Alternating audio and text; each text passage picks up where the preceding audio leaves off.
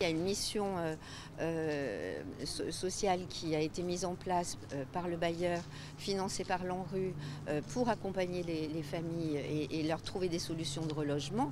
Il faut faire les choses avec délicatesse vis-à-vis des habitants. Il faut qu'ils comprennent et que ça soit un projet partagé et accepté par tout le monde. Donc il faut du, du temps.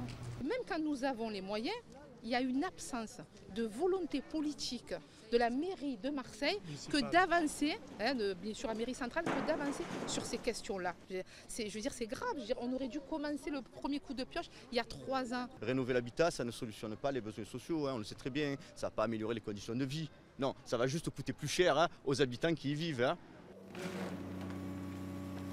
Ça fait des années qu'on est né ici et qu'on voit et qu'il habitait euh, Zidane et les habitants et voilà donc c'est un souvenir.